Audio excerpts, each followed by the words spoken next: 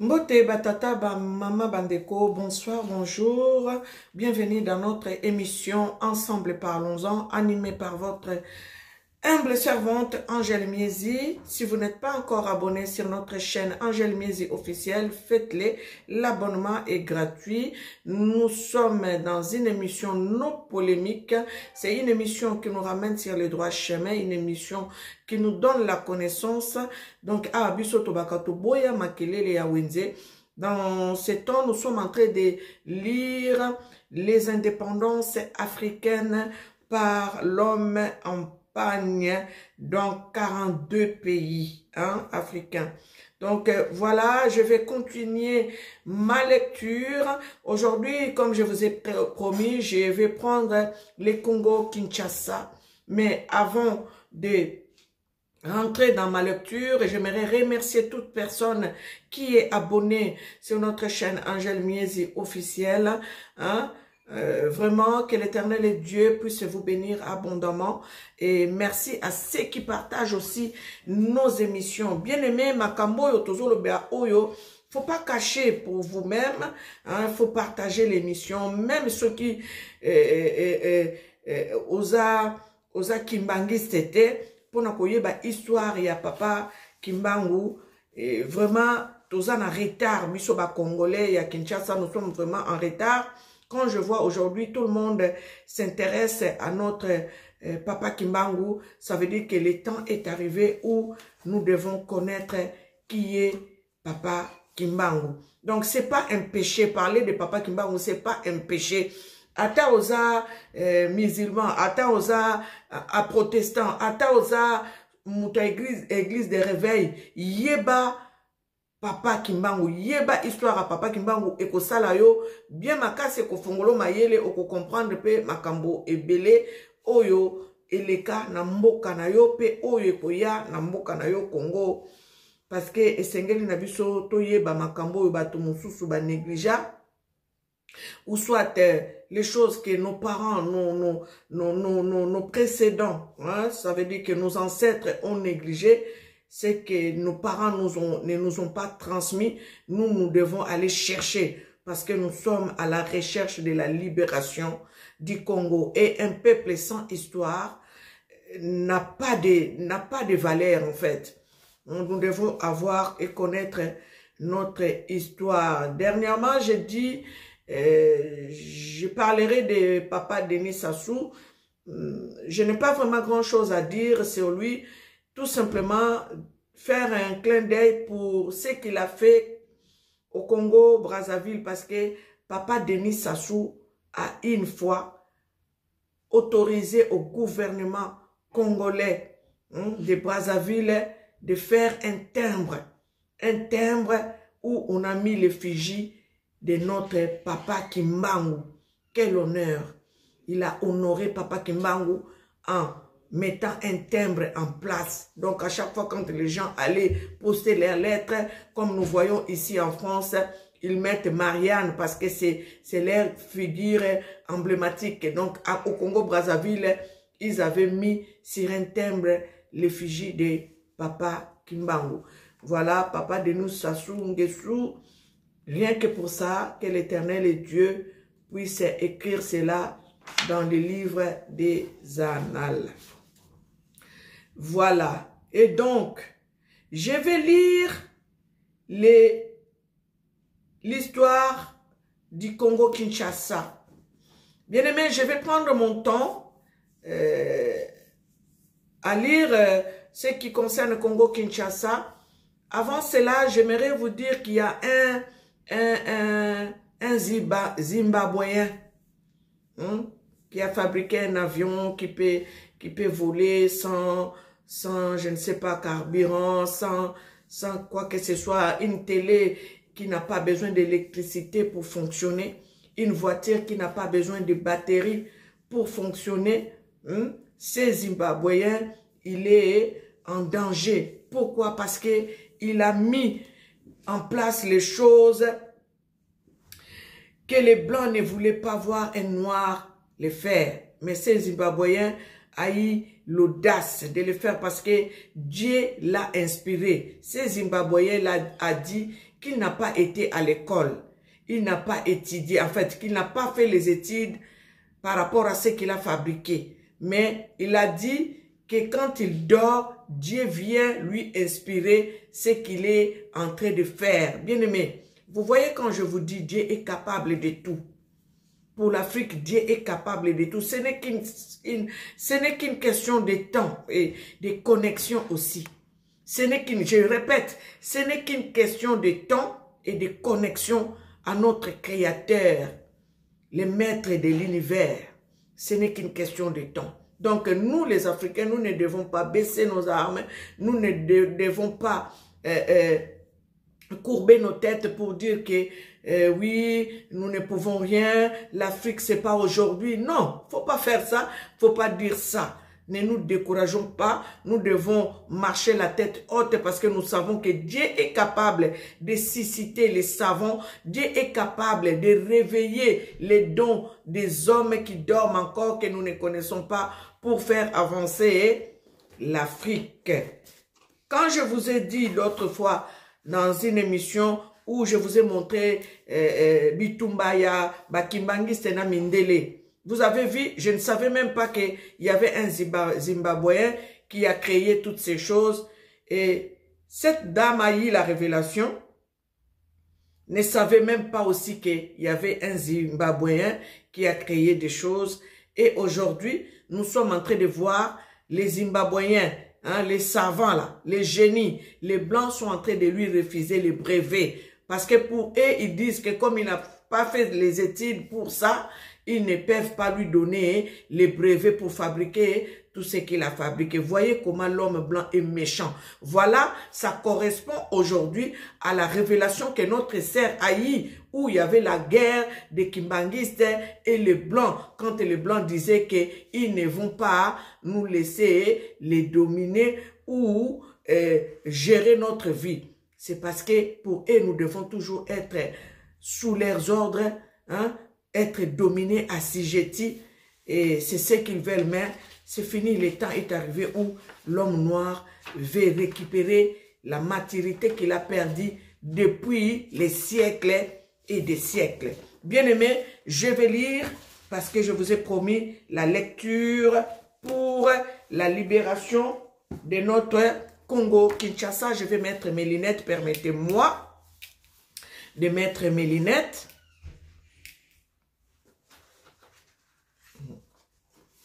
Je vais faire la lecture, j'ai lu. Bref, Congo-Kinshasa. Bref aperçu géographique. Appelé aussi la République démocratique du Congo. Le Congo-Kinshasa est le deuxième pays le plus vaste d'Afrique après l'Algérie.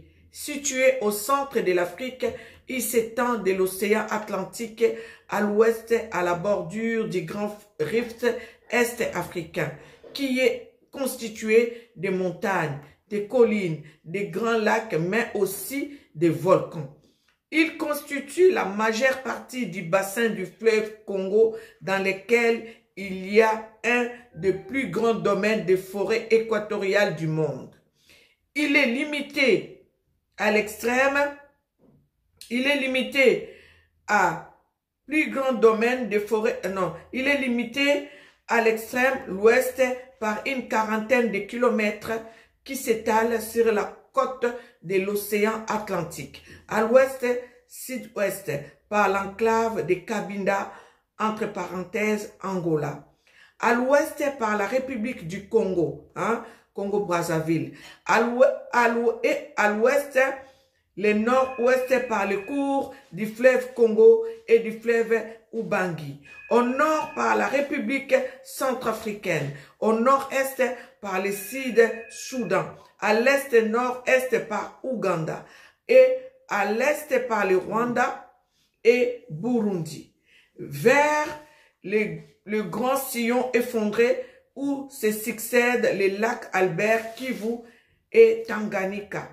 À l'est, sud-est par la Tanzanie, au sud-sud-est par la Zambie et au sud-ouest par l'Angola, Sa superficie est de 2 345 409 km et sa capitale est Kinshasa. Bien aimé, j'aime bien lire ces livres parce que quelque part, nous étudions la géographie, l'histoire en même temps. Et donc, nous savons que le Congo démocratique est entouré par neuf pays. Hein? Neuf pays qui est euh, Centrafrique, Burundi, Ouganda, Tanzanie, euh, euh, Rwanda, Angola, Congo-Brazzaville et autres que je vous ai lu là. Donc, nous avons neuf voisins. Neuf voisins au Congo-Kinshasa. C'est comme l'Allemagne. La, la conférence, l'histoire du pays. La conférence de Berlin du 15 novembre 1884 au 26 février 1885, réunissant les restants des États engagés dans la course aux empires coloniaux, consacra l'existence de l'État indépendant du Congo, les rois des Belges. Léopold II en deviendra le propriétaire et exerça une souveraineté de, de de 1885 à 1908. Sous le contrôle de l'administration de Léopold II, l'État indépendant du Congo connaît un développement inédit. Construction de voies ferrées, bateaux développement du commerce, de l'agriculture et d'activités minières. Fondation de villes dont Léopoldville lutte contre les maladies qui déciment la population, organisation d'une force publique, établissement des dispensaires, d'écoles, des, centres de développement de l'Est du Congo et délivrer du fléau des esclavagismes arabisés. Mais tout cela est accompli au plus fort. Confiscation des terres, irrespect des coutumes, l'application d'un régime de travail forcé, introduction des maladies, etc. Les richesses abondantes, entre parenthèses, caoutchouc, ivoire, mines, etc. Du Congo incitant la couronne royale et les compagnies concessionnaires à entreprendre l'exploitation brutale de sa population. Bien aimé, vu avait, ils ont découvert la richesse au Congo, Maintenant, ça la couronne royale, la couronne, donc les rois de Belges, hein, et, les, compagnies concessionnaires à entreprendre l'exploitation brutale hein, de la population. Celle-ci diminue fortement entre 8 et 30 millions de victimes selon l'encyclopédia Britannica au point que certains historiens désignent cette période comme un holocauste oublié. Bien aimé, je vais, je vais, je vais, je vais, je vais commenter par là. Ça veut dire que quand les, les Belges sont venus au Congo, ils ont vu des richesses minières, ils ont maintenant forcé la population à travailler plus dur, à travailler pour eux, pour qu'ils puissent construire leur pays, comme la Belgique, parce que nous parlons de la Belgique là. Pour construire la Belgique, fallait maintenant prendre les caoutchoucs, fallait prendre toutes les richesses minières pour ramener en Belgique pour construire hein, la Belgique. Et nos parents, nos aïeux ont payé d'un prix fort parce que quand ils ne travaillaient pas comme eux, ils le voulaient, ils te coupaient les mains, ils te faisaient ce qu'ils voulaient. Et jusqu'à ce qu'il y ait 8 à 30 millions de victimes. Bien aimés. Ces choses-là, il faut les savoir, il faut les connaître, il faut transmettre à nos enfants. Ils doivent connaître l'histoire, ils doivent savoir. Je vais continuer ma lecture. Je reprends. La richesse du Congo incite la couronne royale et les compagnies concessionnaires à entreprendre l'exploitation brutale de la population. Celle-ci diminue fortement entre 8 et 30 millions de victimes selon l'Encyclopédia Britannica, au point que certains historiens désignent cette période comme un holocauste oublié. Par les traités du 18 novembre 1908, le roi de Belge céda l'État indépendant du Congo au royaume de Belgique qui en fait, qui en a fait une colonie appelée Congo belge. Cette colonie dira de 1908 à 1960. C'est à partir de l'année 1908 que le Congo belge connaît un essor considérable qui ne profite pas aux Congolais. La colonisation avec ses corollaires, l'avertissement, l'aliénation et la domination amena le désespoir doublé des souffrances. C'est dans ce contexte que Dieu avait joué un rôle avec le peuple Mukongo dans la province du Bas-Congo en leur envoyant un, un être exceptionnel au nom de Kimbangu qui par sa résistance politique, ses prédications et ses actes de puissance traça la voie à suivre, traça la voie à, suivre pour le peuple opprimé.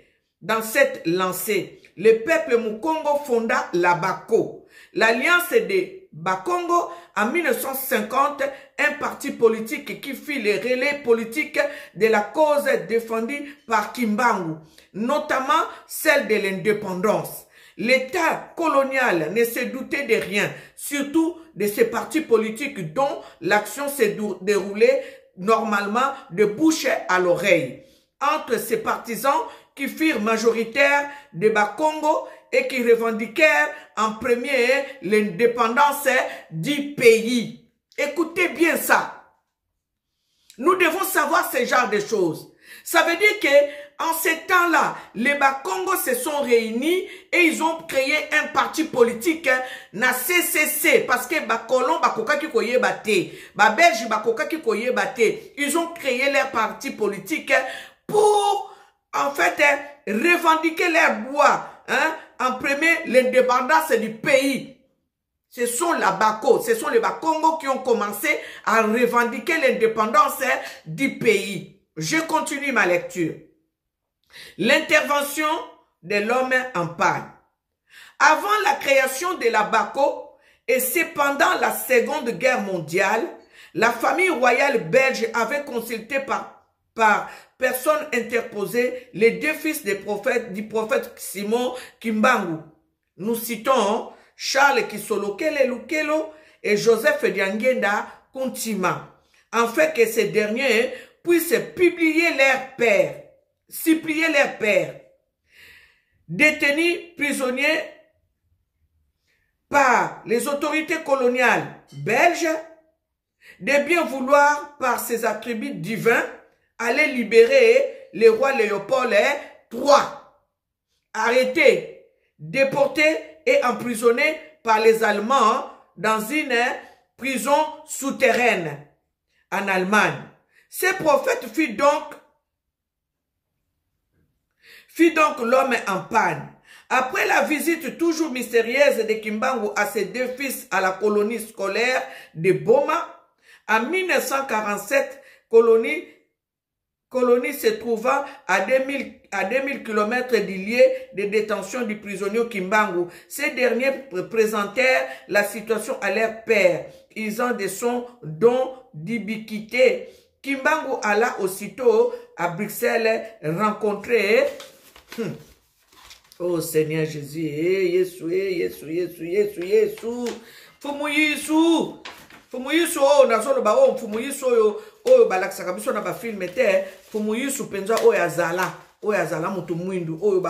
biso Conseiller du roi emprisonné, en échange la condition qui leur avait été imposée par Kimbangu Fissel d'accorder la souveraineté et l'indépendance au Congo. Je m'arrête par là, je vais commenter. Je vais mettre un signe pour que je n'oublie pas. Je vais vous dire ceci. Quand on a arrêté Léopold III chez les Allemands, ils l'ont emprisonné, ils l'ont mis dans une prison souterraine. Maintenant, les Belges, comme ils connaissaient que Kimbangu avait, pardon, une puissance, ils ont fait appel aux enfants de Papa Kimbangu, qui est Papa Kisolokele et Papa Diangenda Kontima. Parce que Papa Dialungana Kiangani, il restait en Kamba. Comme leur père lui avait dit, de ne pas sortir souvent de Kamba, de rester souvent en Kamba parce que on l'appelait les gardiens du temple. Il restait là-bas, il était là-bas. Et beaucoup même ignoraient son existence. Donc, il a fait appel à Kisolokele, à Diangenda, pour plaider la cause de leur, leur roi qui était arrêté emprisonné en Allemagne, de faire appel à Papa Kimbangu pour venir libérer leur roi qui était emprisonné euh, en Allemagne. Bien aimé, si les Belges ne connaissaient pas que Papa Kimbangu pouvait tout, quelqu'un qui est emprisonné à Lubumbashi, comment peut-il venir libérer quelqu'un qui est emprisonné ici en Allemagne Un noir africain emprisonné à Lubumbashi, on fait appel à lui pour venir libérer quelqu'un qui est en Allemagne dans une prison souterraine. Et c'est ça qui s'est fait.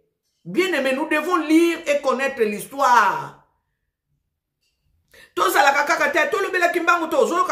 même, mbangu Ozo quand même Sony Kolobela Mais c'est quelqu'un qui a été chez vous, qui était chez nous, il a vécu chez nous, même les pasteurs ne parlent pas de Kimbangu. Parce que pour Bango, et moi Sony, ceux qui tolobeli Kimbangu, ou bien soit, pour Bango, ceux qui tolobeli Kimbangu, biso to travailler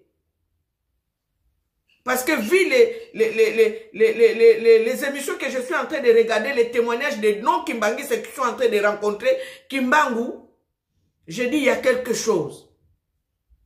Ou soit les pasteurs aussi savent, mais ils ne veulent pas nous le dire. Pourquoi Kimbangu se manifeste Quelqu'un qui est mort, il est parti. Pourquoi Kimbangu se manifeste chez les non-kimbanguistes Nous devons nous poser beaucoup de questions. Je vais continuer ma lecture pour commenter après. En tout cas, aujourd'hui, je peut-être je vais déborder les 40 minutes, je vais dépasser les 40 minutes, hein, parce que l'histoire du Congo, c'est un peu long. Vous allez m'excuser. Écoutez seulement, moi, je vous fais la lecture. Donc, Kimbangu a fait appel hein, au, prison, euh, au, fils de... En fait, euh, les, rois ont a fait appel au fils de Kimbangu pour aller libérer leur euh, papa en prison. Mais écoutez la condition. La condition qui leur avait été imposée par Kimbangu fut celle d'accorder la souveraineté et l'indépendance au Congo. Les conseillers du roi prépareront un accord secret qui fixa la date de l'indépendance le 30 juin 1960, que l'homme en panne ira faire signer au roi Léopold trois détenus dans la prison souterraine en Allemagne et les libérera après signature. Bien-aimé, Kimbangu est arrivé en Allemagne. Une personne en prison, en même temps en Allemagne, il fait signer au roi Léopold III les, contrats, la, la, la, comment on a dit, on dit ça, un deal en fait. Kimbangu a dit, moi je vais te libérer. Tu vas sortir d'ici. Mais en, date du 30 juin 1960, vous devez libérer mon pays, vous devez libérer mon peuple. Bien-aimé, ceux qui batangeli yo te, soki oluki te, soki oyebi te, makambo okoyeba yango te. Congolais, tika ba makambo ezanga tina yo ozwi émission oyo. Kabola, pesa bato bayebi te. Bayeba. Ata bolingi kimbangu te boyeba omwe makambo asala ekofongola bino miso ekofongola bino esprit. Vous allez vous poser beaucoup de questions. Qui était cet homme dans notre pays? Pourquoi kimbangu dans notre pays congo? Hmm. je vais continuer ma lecture. Je vais continuer ma lecture Aïe, Congolais, mawa, nzambe nangai. Mhm. L'auteur Bolonge intitulé Nine prophète chez soi? Awa Bolonge mutakomi yango ya ayoki mawalobi Nine prophète chez, chez soi? En 1958, étant donné que l'homme en panne n'était plus en vie physiquement, c'est son fils aîné, Charles Kisolokele, qui a réussi à rencontrer le roi des Belges après avoir répondu à l'appel au concours administratif organisé à Bruxelles par le gouvernement du royaume de Belge en vue de trouver le futur dirigeant de la colonie belge. En réalité, ayant été plus brillant de tous les administrateurs territoriaux indigènes et belges du Congo belge, qui Solokele était reçu personnellement en audience par le roi de Belge.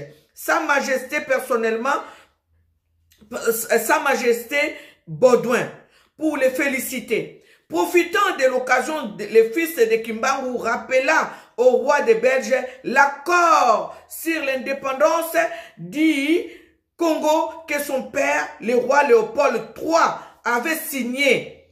De plus, il le lui présenta en guise de preuve d'accord signé par Léopold III.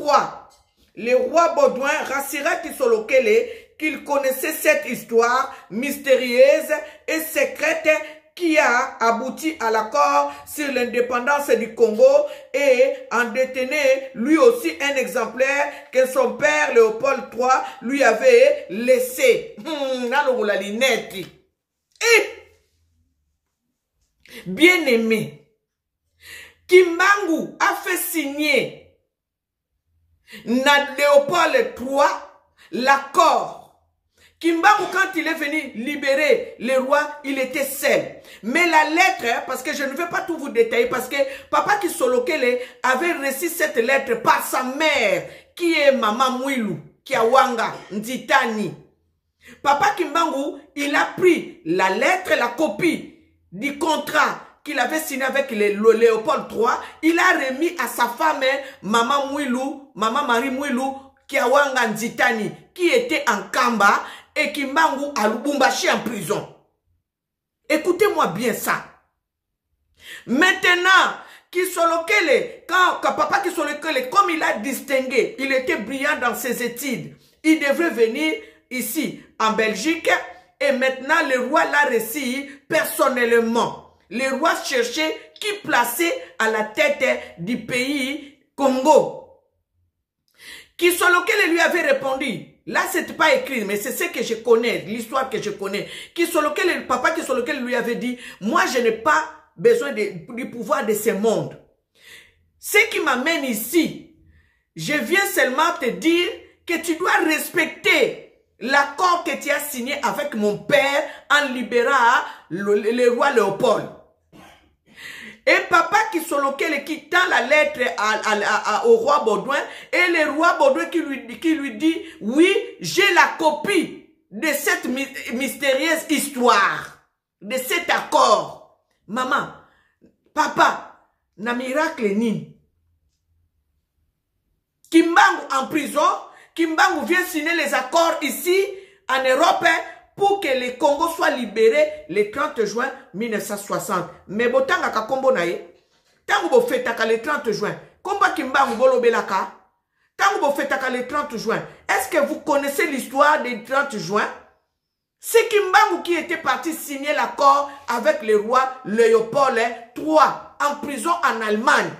Et il l'a libéré et il l'a amené à Kinshasa, au Congo là-bas, dans une ville qu'on appelle Yangambi, si je ne me trompe pas. Parce que l'histoire, faut le dire comme, il, comme elle est. faut pas trafiquer l'histoire, faut pas rajouter, faut pas enlever. Bien aimé, je continue ma lecture. Je continue ma lecture. Le 30 juin, Lumumba. Le 30 juin, Lumumba. On ne refuse pas. Le 30 juin lumumba bato nyonso bako bato nyonso basala mosala oyo esengeli mpo ete bato kimbango bolobelaki te yango moni boza na problème na congo je vous ai toujours dit le congo a un problème avec les congolais ont un problème avec kimbango Je vais continuer ma lecture. C'est très... J'aime bien ces livres. J'aime bien lire ces livres. Profita de l'occasion, le fils de Kimbangu rappela au roi belge l'accord sur l'indépendance du Congo que son père, le roi Léopold III, avait signé. De plus, il lui présenta en guise de preuve l'accord signé par Léopold III. Le roi Baudouin rassura qu'il connaissait cette histoire mystérieuse et secrète qui a abouti à l'accord sur l'indépendance du Congo et détenait lui aussi un exemplaire que son père Léopold III lui avait laissé. Constata l'hésitation du roi Baudouin pour l'application de l'accord conclu, Papa Kisoloke, Kisoloke le dira au roi que s'il ne le met pas en application le plus tôt possible, son père qui est Kimbangu, lui déclarera systématiquement la guerre et le vainqueur récupérera le Congo. oh Seigneur, le vainqueur récupérera le Congo. De retour au Congo belge, et suite à sa prestation intellectuelle à Bruxelles, il réunit à Tchela, dans la province du Congo central, parmi l'élite congolaise, des personnes sérieuses pour les préparer à mettre la pression sur le gouvernement belge. Malgré les tensions qui existaient entre les différents nouveaux partis politiques congolais, qui lequel s'est servi de sa notoriété pour apaiser ces tensions. D'autant plus que la classe politique congolaise naissante non seulement avait une grande confiance en Kisolo Kele comme premier administrateur territorial indigène du Congo belge, mais aussi savait que savait pertinemment que le mouvement kimbanguiste initié par son père Kimbangu et, et pérennisé par sa mère, la nommée Mwilu Kewanga Marie, avait une longue expérience en tant que précurseur de lutte contre la colonisation et pour l'indépendance. Ce mouvement jadis Kintouadi s'est transformé en église, en, église appelée du Bundu, six mois avant de l'indépendance du Congo. Kintouadi et du Bundu sont deux étapes qui forment les Kimbanguistes le kimbangisme. La piste vers l'indépendance. Écoutons ça. À l'issue des élections municipales de 1957, Labaco obtint une victoire écrasante et son chef Joseph Kassavoubou réclama des élections générales à l'excession à l'indépendance.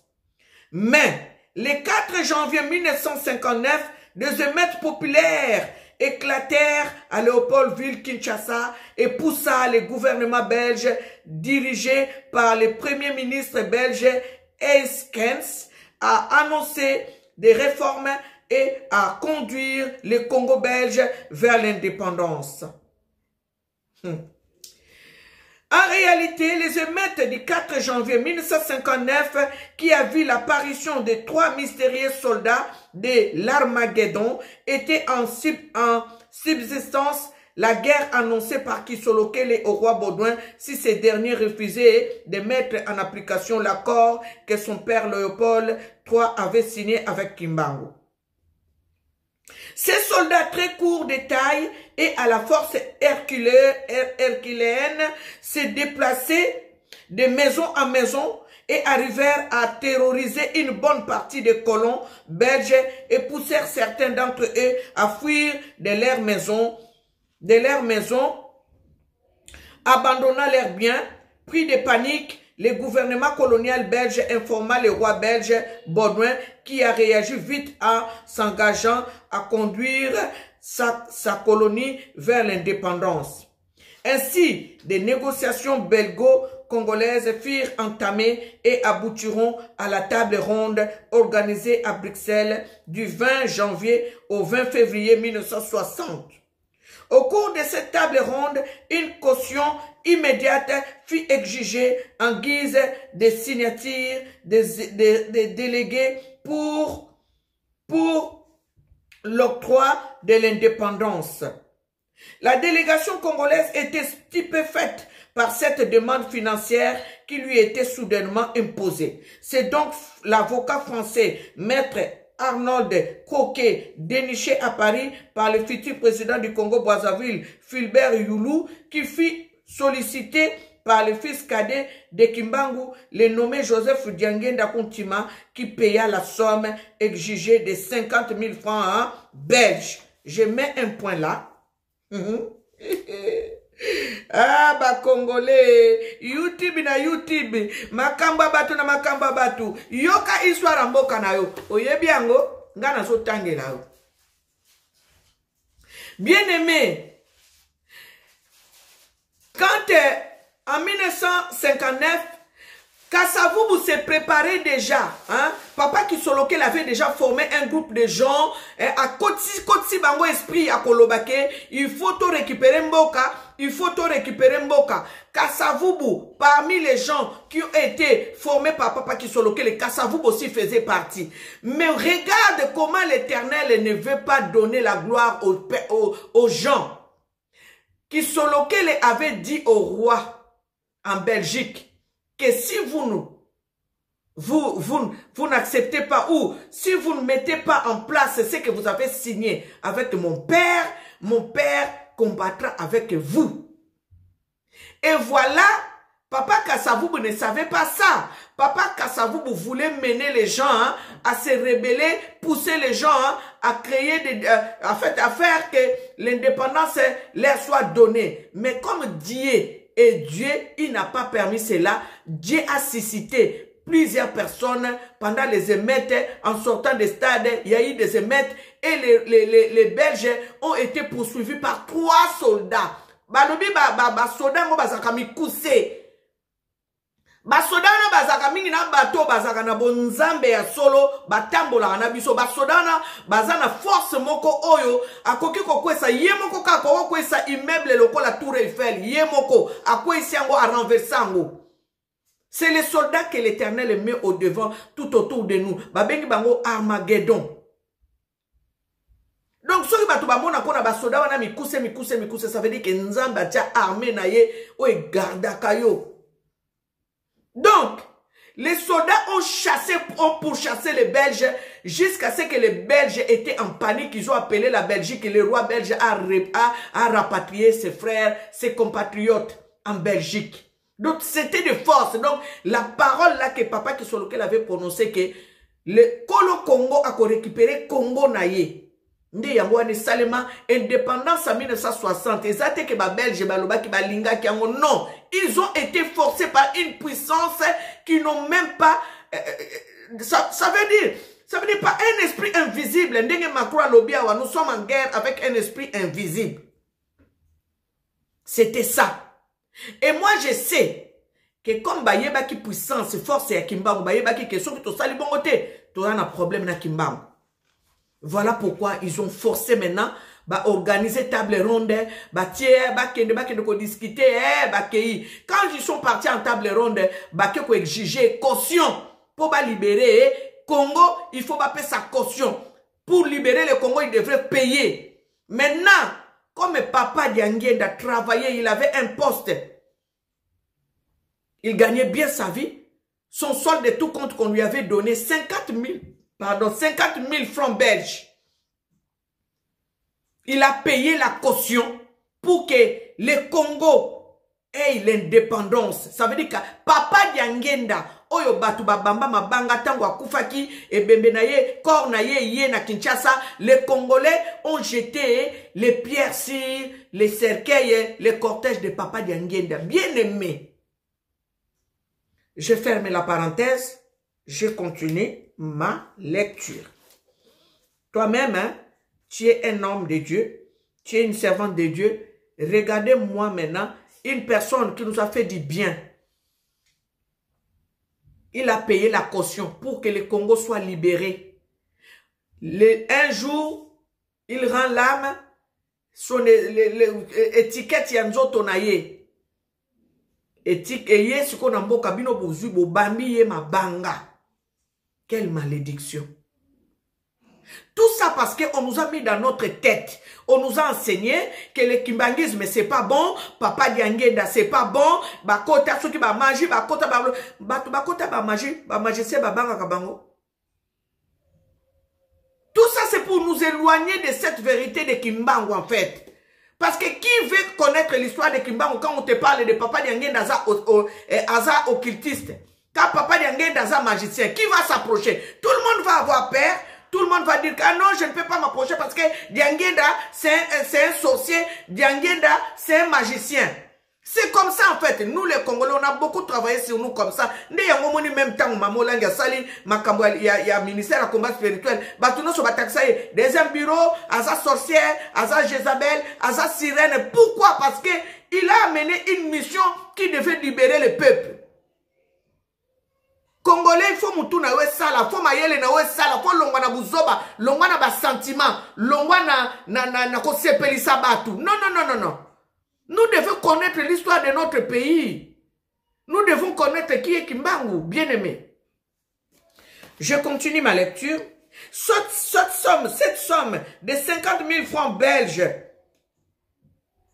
lui avait été donnée par le fils cadet de kimbangu à kinshasa c'est bien Djangenda Kuntima qui avait payé la caution de l'indépendance du Congo et le récit de cette caution fut donné séance tenante par maître Croquet à Kisolokele fait que ces derniers puissent les remettre aux payeurs. Bien-aimé, qui a, qui a été utilisé pour trouver l'avocat pour le Congo-Kinshasa, c'est Philbert Youlou, qui a rencontré Papa Kimbangu. Voyez, voyez la connexion, voyez l'alliance, voyez la connexion. Ça veut dire que Philbert Youlou a connecté Papa Diangé Kuntima par l'avocat qui était français parce que nous on était colonisés par les Belges. Philbert Youlou ils étaient colonisés par les Français. Donc, Philbert Youlou connaissait le maître Croquet là. Il a mis en contact, en relation avec Papa Diangenda Kuntima.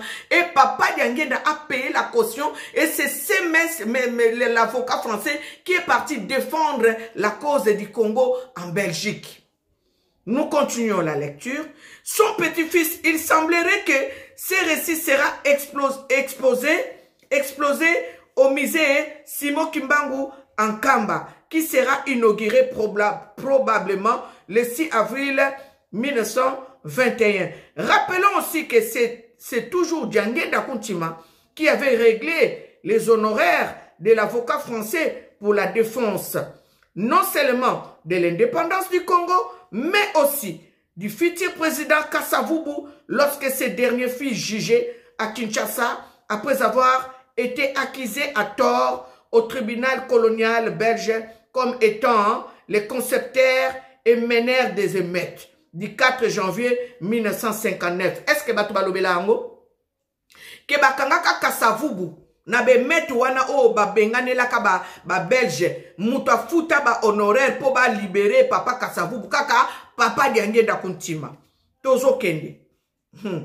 la table ronde qui se termina par un accord fixa au 30 juin 1960 la date de l'accession du Congo à la souveraineté internationale et à l'indépendance, date prévue bien entendu dans l'accord secret Kimbangu Léopold III.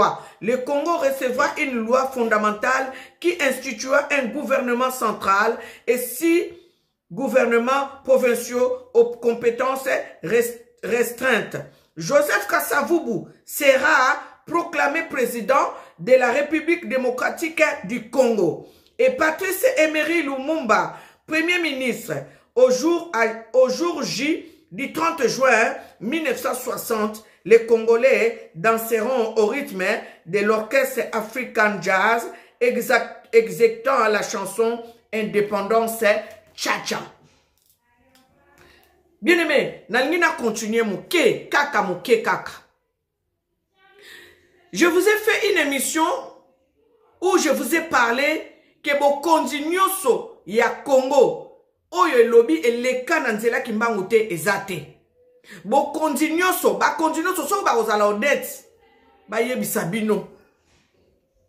Bokonzi nyonso ya Congo tolobeli kasavubu awa kasavubu premier président ya Congo. Nani asala kasavubu malgré mayele na ye malgré atangaki klasi nani asala kasavubu bien aimé c'est kisolokele et diangenda qui ont fait en sorte que kasavubu soit là? Parce qu'ils l'ont préparé.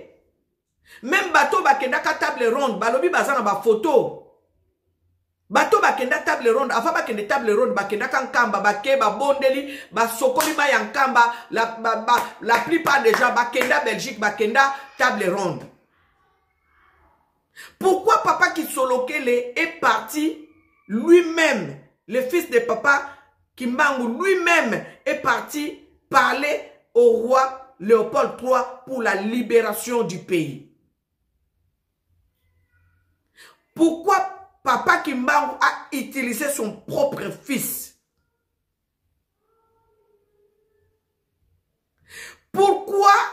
Papa Kasavubu tango bapesi ye esika wana parce que même avant koma ndenge azali wana alala na bana Kimbangu mbetu moko. Papa Diangenda alala na papa Kasavubu mbetu moko. Mais tango ekomi ba reconnaître areconnaître kaka ke oyo nga nazwi euti quelque part eza na bato moko meme ata na bomosuni boye koloba ah motu moko boye asungaki ngai. Kasavubu awangana bakimbangi ba, bana kimbangu apesa bango mokongo. Ntango bake basinese bango bakontrat na bango e balobi na ye bakotiela yo de bwati liboso. Kaka kasavubu batuni ye nanu religio nini olingi etambusa mboka na yo. Asengi katolike première déception.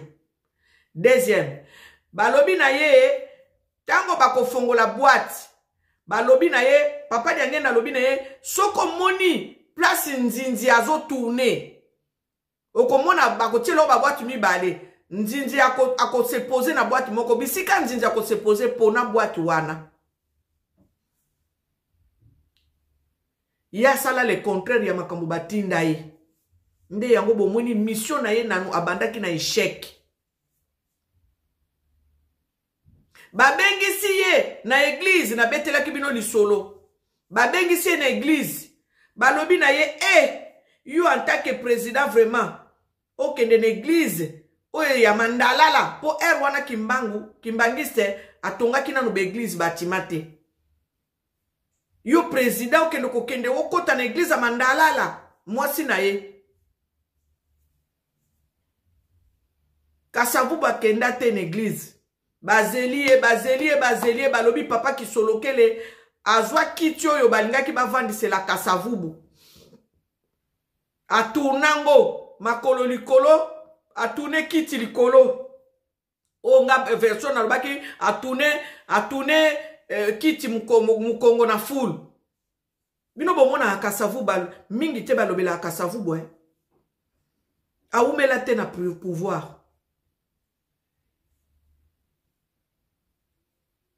papa kimbango akokisi oyo ayebisaka mobutu na prison. Mobutu aye kozwa pouvoir. Yango moni bible elobi toute autorité vient de dieu. Eza nango lokuta te eza ya solo. Ata tomoni bango bato ya malamu meme joseph kabila ndenge bomonake wana nzambe moto atinda ye. Meme félix ndenge azia wana nzambe kaka moto atindi biso bakongole. Bokonzi moko te oyo eza na kati ya kongo wana eleka eleka oyo nzambe te moto alingi te. Nzambe moto alingi yango wana bandeko voilà les, les indépendances africaines prochainement tokosala numéro mosusu je suis en train de lire ce livre pour que vous puissiez comprendre quel est le rôle de Papa Kisolokele. On lui avait proposé, les Belges, parce que c'était un homme très intelligent, un homme qui a brillé, il a distingué. Et on a, ils ils l'ont proposé de, de, de, de, les placer à la tête du pays. Papa Kisolokele leur avait répondu, bokonzi présidence nanga eza ya mokili nanga eza ya mokili mais ce que je viens vous dire seulement veillez honorer ce que vous avez fait avec mon père. Ce que mon père vous avait dit vous devez exécuter. Si vous ne faites pas ça mon père va vous combattre va vous mener la guerre Et c'est ce qui s'est fait, ce qui s'est fait. Donc la date du 30 juin, ce n'est pas une date qui a été choisie par qui, quoi que ce soit, par qui que ce soit. C'est lui-même qui ou qui avait donné cette date au roi Léopold III. Voilà, aujourd'hui, je vais m'arrêter par ici. Nous sommes en train de continuer, continuer la lecture sur les indépendances africaines, hein, écrites par notre Papa Bolongue Lissele, hein? Papa Bolongue Lissele qui a écrit ce livre, qui est mort aussi, hein? Paix à son âme, des mémoire, Papa Bolongue Lissele nous a laissé une richesse. J'ai dit ce livre, c'est vraiment un livre qu'il faut acheter parce que euh, ça nous apprend que c'est que même l'Afrique, hein, la géographie, l'histoire, c'est très important de connaître ces choses la victoire de l'homme en pagne dans 42 pays africains. YouTube théâtre nous devons comprendre les choses. Hein, nous devons, excusez-moi, nous devons comprendre les choses. Bamakambo ezopesa biso connaissance, bamakambo ezopesa biso mayele. Donc voilà, c'était votre sœur Angèle Miezi dans cette émission. Ensemble, parlons-en. Aimez l'émission, abonnez-vous, partagez l'émission. Ata, olobi olingaka kimbangu te, yoka au moins makambo. Kimbangu asala, ekoki kosala, eh, implice na vie na yo, okoki ko transmettre pe na bana na yo, mais kimbangu olingo linga to kolinga ye parce que yaya, yende mutayaki koloba, l'homme noir deviendra blanc. Bino bokanisi eza ya poso, eza ya poso te.